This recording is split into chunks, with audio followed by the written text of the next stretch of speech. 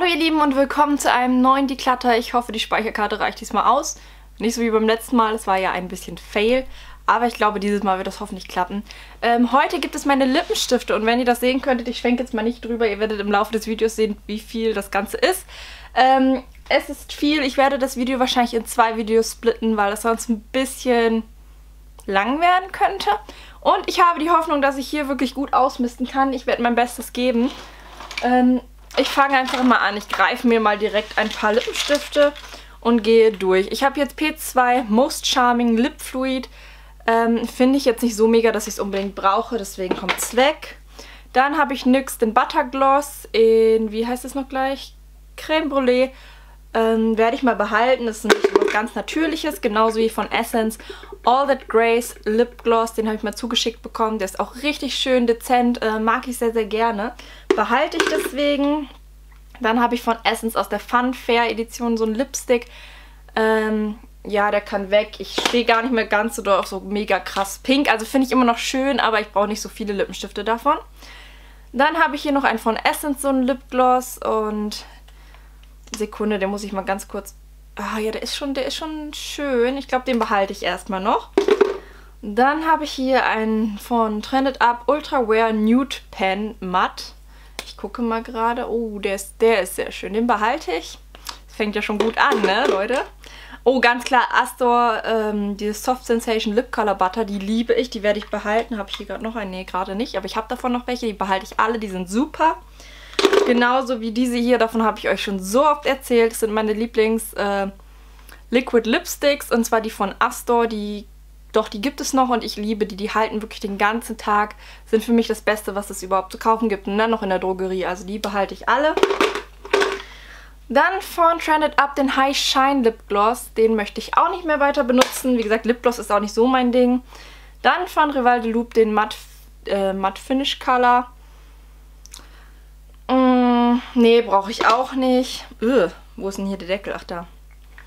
Ähm, Studio 78 Paris. Das war mal in einer Box. Ähm, das ist auch so ein schön natürlicher Lipgloss und da ist der Deckel kaputt, deswegen mag ich den ungern verschenken oder so. Deswegen werde ich den, glaube ich, selbst behalten. Dann äh, Colourpop Liquid Lipsticks, da habe ich so kleine mal bei einer Bestellung mit dazu gekriegt und die sind auch richtig toll, behalte ich. Catrice Pure Shine Lip Balm, Tinted Lip Balm. So sehen die aus, wie die, ähnlich wie die von Astor. Mm. Ja, behalte ich auch. Dann habe ich hier von Rival de Loop so ein Kit, so eine Lip Color Palette. Die behalte ich noch, weil die habe ich noch nicht einmal getestet, wie man vielleicht sieht. Ähm, muss ich auf jeden Fall noch austesten, unbedingt. Danach geht es weiter mit Urban Decay Naked, ein Lipgloss, den behalte ich natürlich. Essence Summer Fun Lipstick, der kann weg. Make-up Factory High Shine Lip Gloss behalte ich, genauso wie mein Marc Jacobs Lip Gloss in der Farbe Sugar. Sugar Sugar heißt er. Äh, der war in meiner Box. Dann habe ich hier von Essence Winter Glow einen Cushion Powder Lipstick, der so pudrig ist. Ähm, den habe ich zugeschickt bekommen und ich finde den ganz schlecht. Ich mag keinen Puder auf den Lippen. Ich finde das irgendwie unangenehm.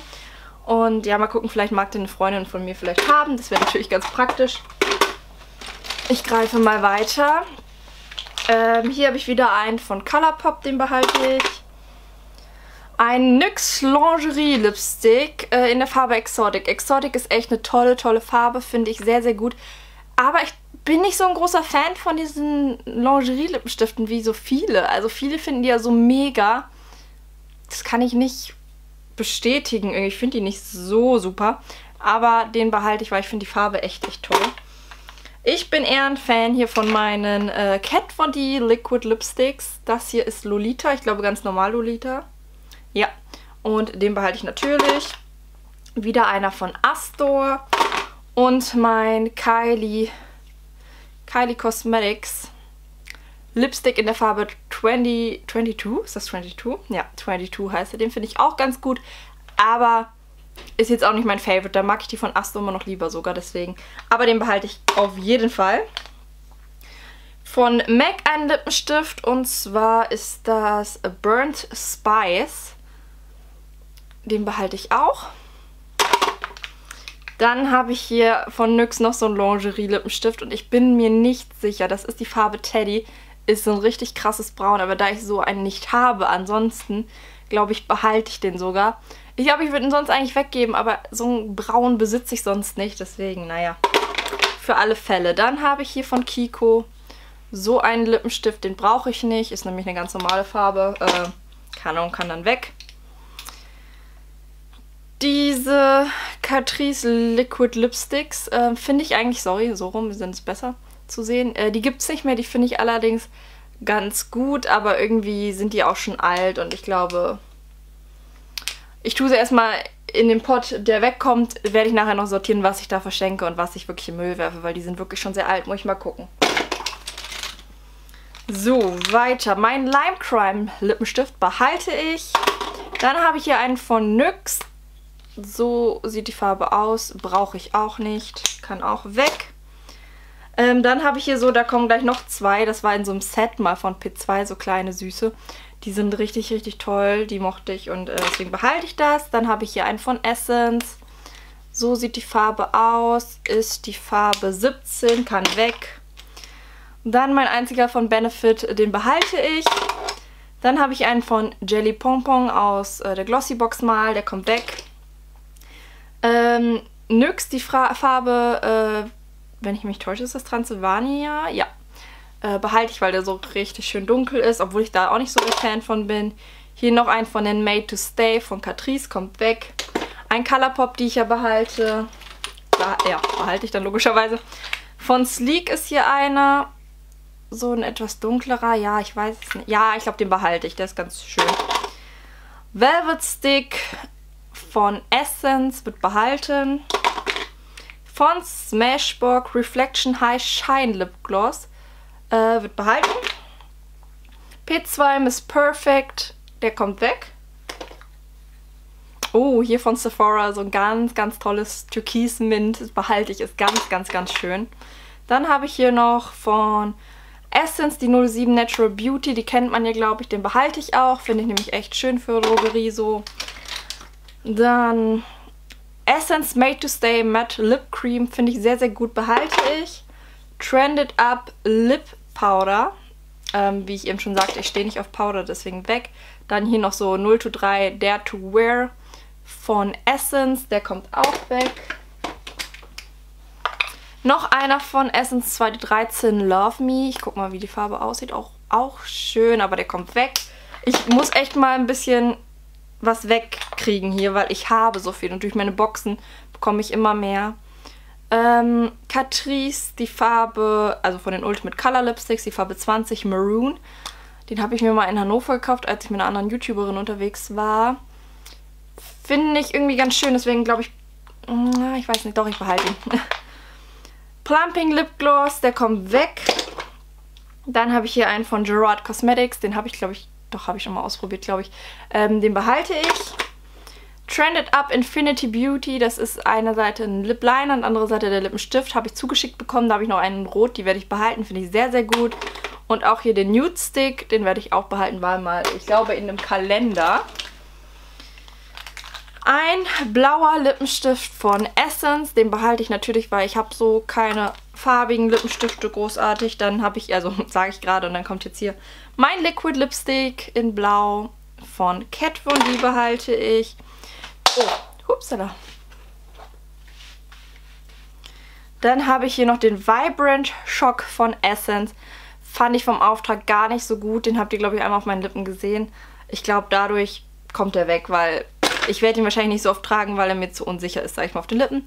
Hier, davon hatte ich eben erzählt, der rote noch, den ich zugeschickt bekommen habe, den behalte ich. Ähm, Cosel Duo Lip Gloss, den habe ich mal in der Make-up Artist Schule bekommen, den behalte ich, der sehr gut. Noch einer von Colourpop und mein Lip Gloss von Dior. Das behalte ich natürlich auch. Dann habe ich hier von Mimimi einen Lip Glide. Und, ähm, oh ja, ist auch ein bisschen kaputt. Äh, kommt einfach weg. Brauche ich nicht mehr.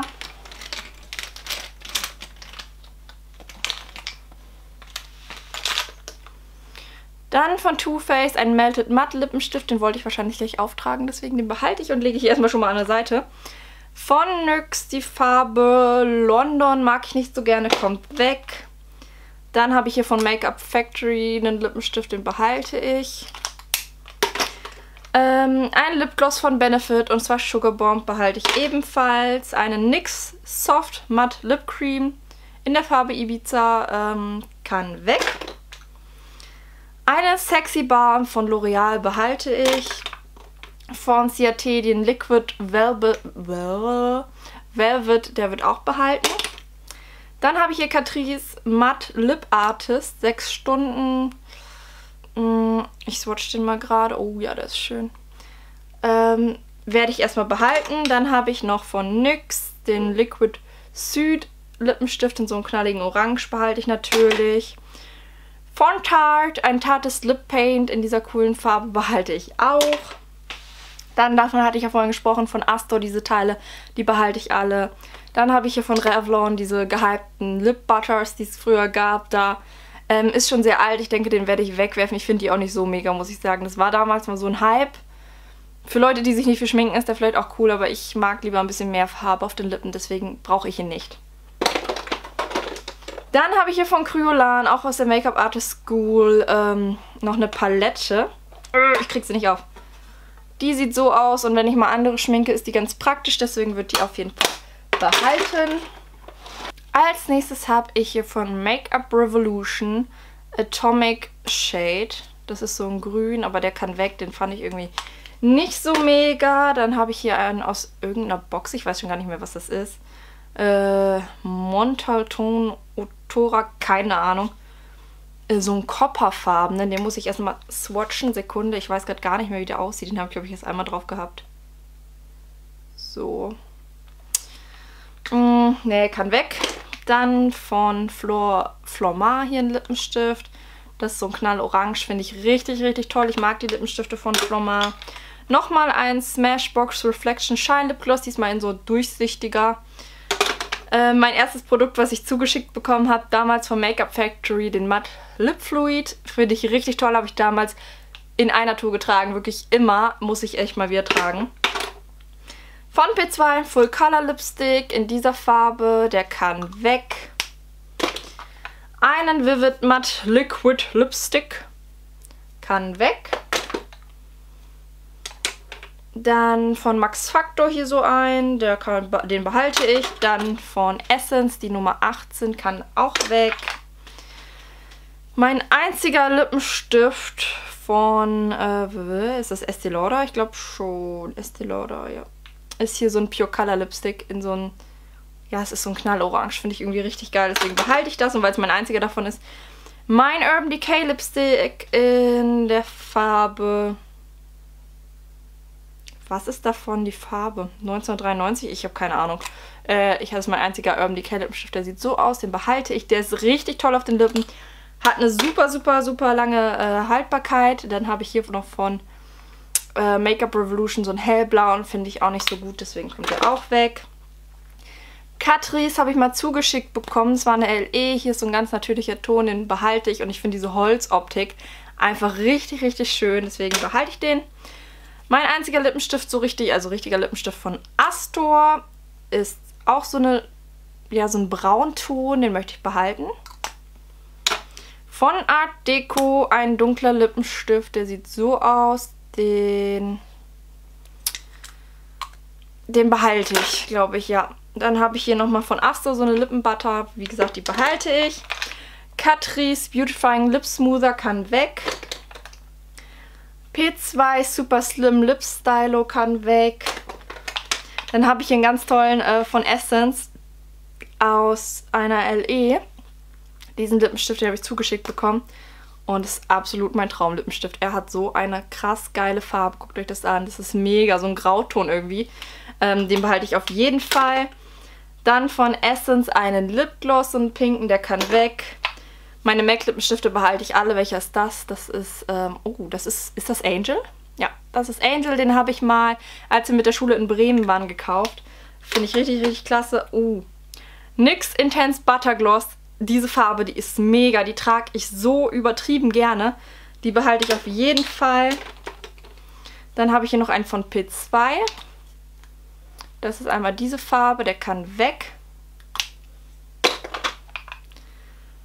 Von Bare Minerals ein Liquid Lipstick, den behalte ich. Nochmal ein Liq äh, NYX, ähm, wie heißt der? Liquid Suit Lippenstift in so einem Grau behalte ich auch.